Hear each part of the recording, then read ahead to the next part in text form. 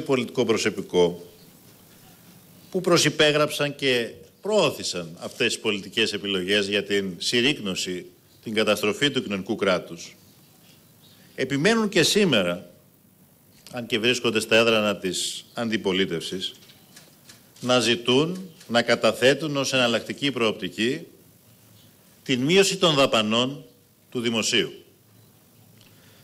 Και επιμένουν βέβαια προσπαθώντας να αποφύγουν να δηλώσουν ξεκάθαρα τι εννοούν. Όμως είναι απολύτως σαφές το τι εννοούν.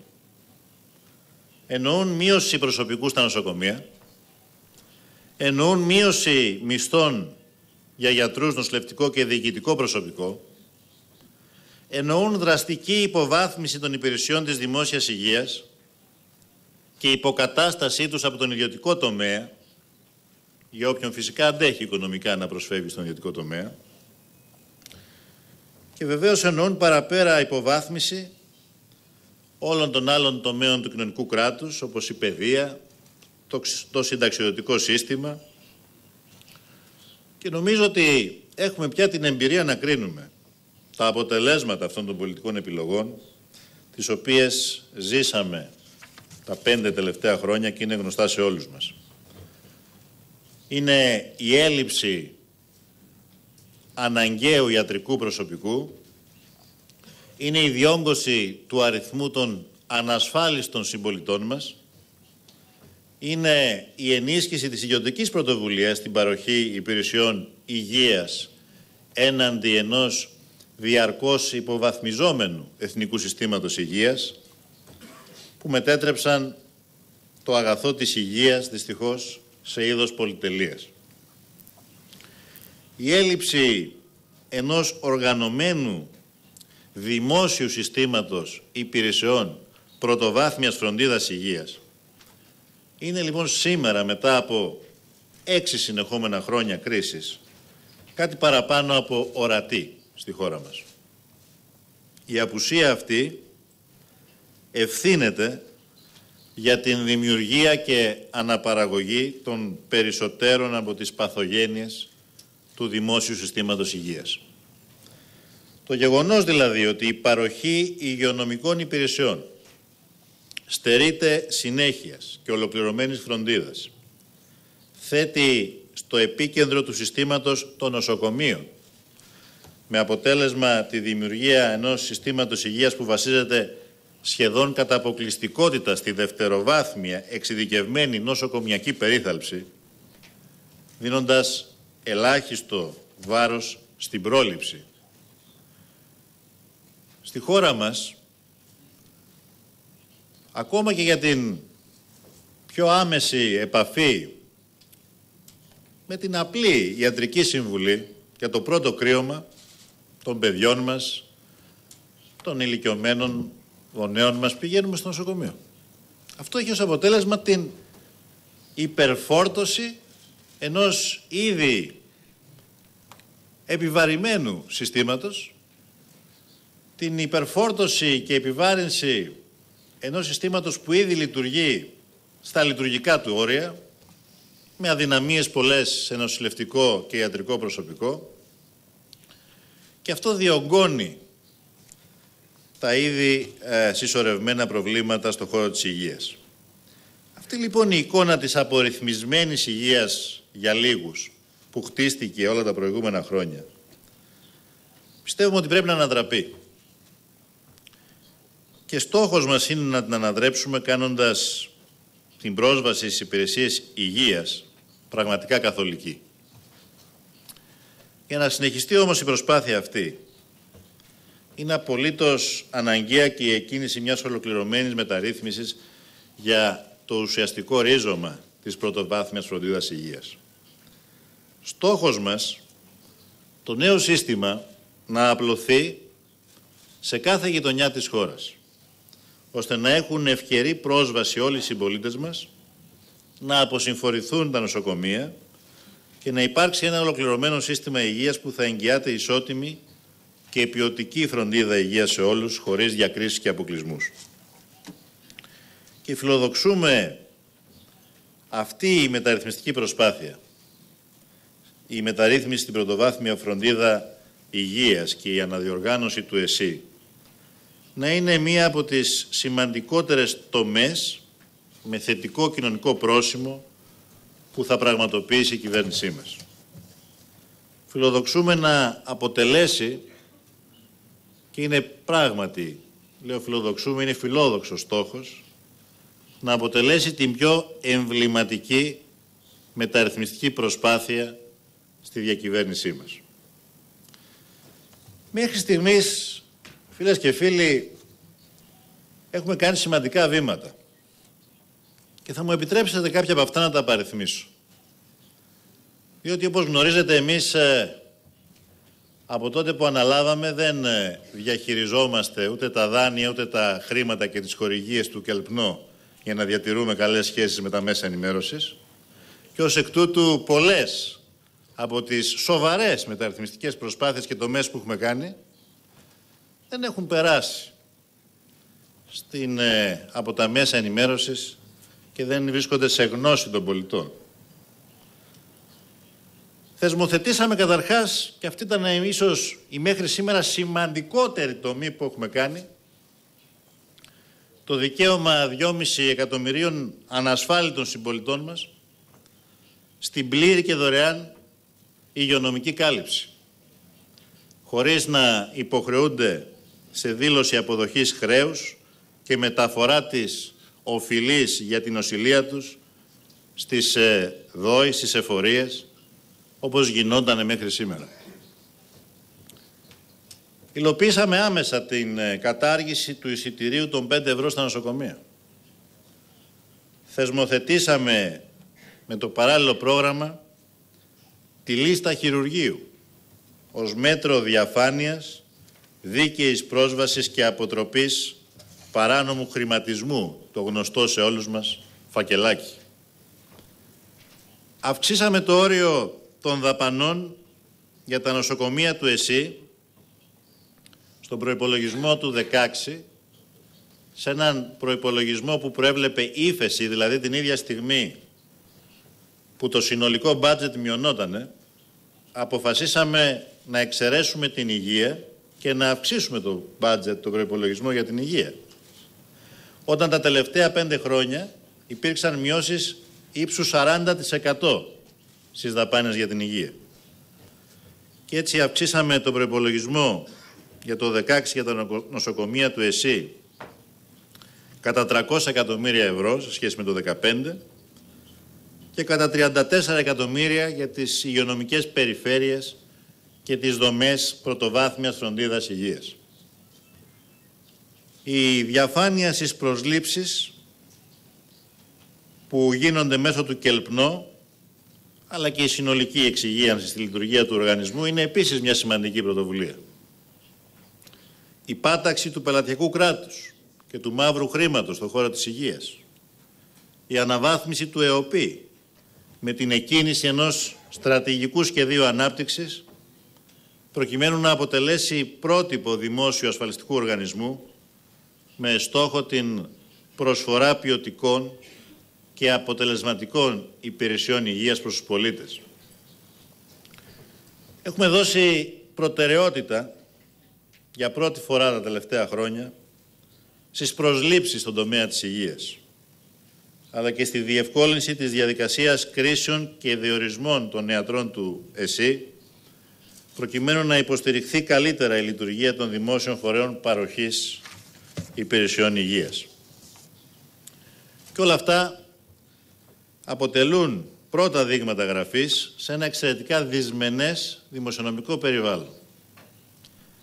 Και να θυμίσω σε αυτό το σημείο πως από το 2009 μέχρι το Γενάρη του 2015 που αναλάβαμε διακυβέρνηση στον υγεία, στον χώρο της υγείας, της δημόσιας υγείας, στον τόπο μας είχαν πραγματοποιηθεί μόνο απολύσεις, ούτε μία πρόσληψη. Και αυτό είναι το λιγότερο. Είναι γνωστή και δημόσια ομολογημένη η δέσμευση αυτό που κυβερνούσαμε μέχρι το 2015, η δέσμευσή τους προς τους θεσμούς, για μαζικές απολύσεις στο δημόσιο, αν συνέχιζαν την, ε, τις δεσμεύσεις τους τότε στην πέμπτη αξιολόγηση, αν θυμάστε, το 2015 και το 2016. Κάτι που θα συνιστούσε, όπως όλοι καταλαβαίνουμε, ένα συντριπτικό πλήγμα για τις υπηρεσίες δημόσιας υγείας. Πλήγμα προφανώς προς τους πιο φτωχούς και πιο αδύναμους. Η πολιτική μας λοιπόν έχει εντελώς διαφορετικές προτεραιότητες. Έτσι για το 2016 όχι μόνο δεν υλοποίησαμε δεσμεύσεις για απολύσεις στον χώρο της υγείας, αλλά άρχισαν να υλοποιούνται 3.448 νέες προσλήψεις γιατρών και νοσηλευτών. Έχουν προκηρυχθεί 500 θέσεις για τη στελέχωση των, των ΜΕΘ.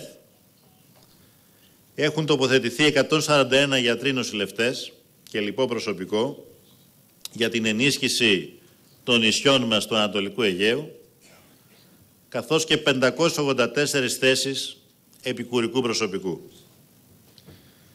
Και επαναλαμβάνω ότι όλα αυτά είναι δείγματα απλά, είναι ίσως μόνο η αρχή μιας ε, ουσιαστικής στήριξης και ενός σχεδίου για την αναβάθμιση αυτού του νευραλγικού τομέα της δημόσιας υγείας, αφού δεν πρέπει να παραγνωρίζουμε ότι όλες αυτές οι προσπάθειες και η άξιο του προπολογισμού και οι τομές που σας ανέφερα και η διαδικασία των προσλήψεων γίνεται ενώ είμαστε υποχρεωμένοι να βρισκόμαστε σε ένα πλαίσιο δημοσιονομικής προσαρμογής, δημοσιονομικής στενότητας.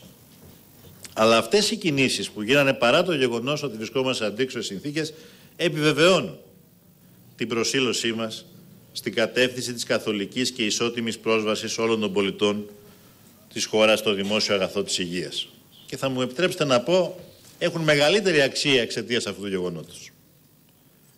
Διότι διαφορετικά μπορεί να κρίνει κανείς την επιλογή όταν βρίσκεσαι σε συνθήκες δημοσιονομικής στενότητας στην υγεία να δώσεις προτεραιότητα από ότι όταν όλη η χώρα και η οικονομία βρίσκεται σε ρυθμούς υψηλής ανάπτυξης και γίνουν και κάποια βήματα στον χώρο της υγείας. Και ίσως αυτό ακριβώς να είναι και το προμήνυμα, η πρόγευση του πώς εμείς θα θέλαμε να μοιραστεί, να μοιραστούν τα ωφέλη της ανάπτυξης που έρχεται. Γιατί η χώρα έζησε και άλλες φορές περιόδους όπου είχαμε πολύ ψηλούς ρυθμούς ανάπτυξης. Το μεγάλο δυστύχημα είναι ότι αυτή την ανάπτυξη δεν την αξιοποιήσαμε προκειμένου να αφήσουμε, ένα, να αφήσουμε ουσιαστικές υποδομές κοινωνικής προστασίας. Δεν την αξιοποιήσαμε για να δημιουργήσουμε πρωτοβάθμιο σύστημα φροντίδας υγείας, για να σταθεροποιήσουμε το εθνικό σύστημα υγείας, για να δημιουργήσουμε υποδομές κοινωνικού κράτους και προστασίας για τους πολίτες και τώρα βεβαίως αυτό πληρώνουμε στην περίοδο της κρίσης. Γιατί πολλές φορές το λέω αυτό όταν βρίσκομαι με συνομιλητές μου ομολόγους μου στο εξωτερικό, στην Ευρώπη. Δεν το ίδιο να υπολογίζει κανείς τη δημοσιονομική προσαρμογή που έγινε στην Ελλάδα με απόλυτα μεγέθη και να τη συγκρίνει. Βεβαίως, ακόμα και αυτό δεν θα άντεχαν ούτε κατά διάνοια χώρες του κέντρου της Ευρώπης ή του Βορρά. Αλλά πρέπει να το συγκρίνει και με το γεγονός ότι εκεί υπάρχουν σταθερές και ουσιαστικές υποδομές κοινωνικής προστασίας σε σχέση με την Ελλάδα που δυστυχώς δεν υπάρχουν. Άρα είναι διπλή η επίδραση κοινωνικής στους πιο αδύναμους αυτής της σκληρής δημοσιονομικής προσαρμογής που έγινε τα τελευταία χρόνια. Επιβεβαιώνουν λοιπόν αυτές οι επιλογές την προσήλωσή μας για τον σχεδιασμό ενός ολοκληρωμένου εθνικού σχεδίου με στόχο την αντιμετώπιση των τεράστιων υγειονομικών και κοινωνικών ανισοτήτων που προκάλεσε η λιτότητα και η αποασφάλιση στην αγορά εργασίας των τελευταίων χρόνων. Συνιστούν όμως και μια μεγάλη προσπάθεια για την ουσιαστική αναβάθμιση του αγαθού αυτού, την προστασία του οποίου βάλαμε ως μία από τις πρώτες προτεραιότητες για την υποστήριξη της ζωής και της αξιοπρέπειας των κατοίκων αυτής της χώρας. Και να είστε σίγουροι ότι οι πολίτες θα είχαν πληγεί πολύ περισσότερο αν δεν υπήρχε το φιλότιμο και η ευαισθησία των γιατρών και των υπόλοιπων εργαζόμενων στο σύστημα υγείας αλλά και η εξαιρετική δουλειά των ανθρώπων της κοινωνικής αλληλεγγύης και των εθελοντικών οργανώσεων.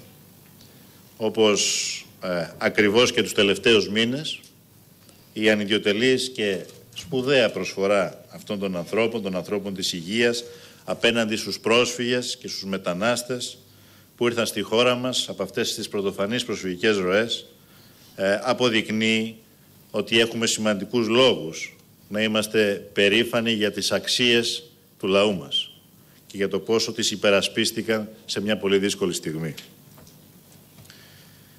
Θα ήθελα λοιπόν να κλείσω λέγοντας πως η σημερινή ημέρα είναι μια ημέρα ουσιαστική γιατί μπορούμε να συζητήσουμε και να σχεδιάσουμε την επόμενη μέρα σε έναν από τους πιο νευραλγικούς τομείς του κοινωνικού κράτους που είναι η, το σύστημα υγείας και ιδιαίτερα η πρωτοβάθμια φροντίδα. Επιτρέψτε μου όμως να κάνω και μια αναφορά διότι έλεγα πριν στον Υπουργό, τον Ανδρέα τον Ξανθό, ότι θα έρθω για λίγο διότι πρέπει να γυρίσω να είμαι σε επαφή με τους ανθρώπους μας που βρίσκονται στις Βρυξέλλες σε μια μέρα κρίσιμη. Όλοι γνωρίζετε ότι συνεδριάζει το Eurogroup με θέμα το ελληνικό πρόγραμμα. Τρέψτε μου λοιπόν να κάνω και ένα σχόλιο γι' αυτό. Είναι ίσως το πιο σημαντικό η μερίσια διάταξη αυτής της συνεδρίασης. Για πρώτη φορά στην ατζέντα, εκτός από μέτρα λιτότητας, θα εισαχθεί και το θέμα της ελάφρυνσης του ελληνικού χρέους. Η... Πιστεύω ότι δεν χρειάζεται να, πω, να μπω σε λεπτομέρειες, ούτε να αναφερθώ στο πόσο σημαντικό είναι το γεγονός ότι ξεκινάει αυτή η συζήτηση. Η ελάφρυνση του χρέους είναι αναγκαία και μπορεί να δημιουργήσει ένα εντελώς νέο κλίμα στην ελληνική οικονομία να δώσει μια βαθιά ανάσα στα δημοσιονομικά της χώρας και ένα σήμα ότι φύγαμε οριστικά από τον φαύλο κύκλο και περνάμε σε έναν ενάρωτο κύκλο όπου αυτό το οποίο θα μας απασχολεί δεν θα είναι πια περικοπές αλλά θα είναι το πώς θα παράξουμε πλούτο και το πώς θα το κατανείμουμε με δικαιοσύνη για να βοηθήσουμε τους πιο αδύναμους. Αυτός είναι και ο λόγος, ξέρετε, που το ζήτημα του χρέους αποτέλεσε κεντρικό διαπραγματευτικό στόχο της κυβέρνησής μας. Σε ανιδιαστολή με την προηγούμενη κυβέρνηση που μίλαγε διαρκώς για βιώσιμο χρέος και ζητούσε απλά ένα πιστοποιητικό αυτής της βιωσιμότητας παρά το γεγονός ότι όλοι οι αναλυτές έλεγαν το αντίθετο σε διαστολή βεβαίως και με τη σημερινή αξιωματική αντιπολίτευση που δεν λέει κουβέντα για αυτό το θέμα. Ίσως γιατί δεν έχει κάτι να πει.